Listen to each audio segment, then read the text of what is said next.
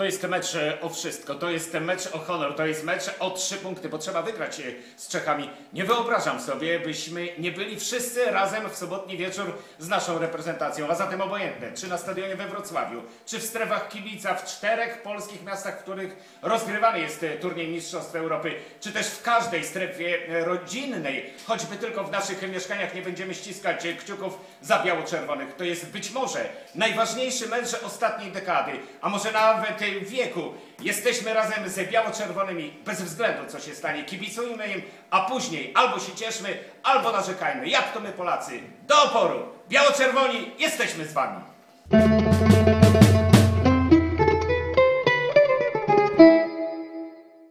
W tygodniu tyle się dzieje, ale co jest najważniejsze?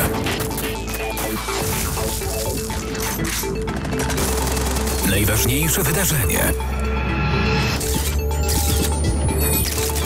Najważniejsza wypowiedź. Najważniejsza interwencja.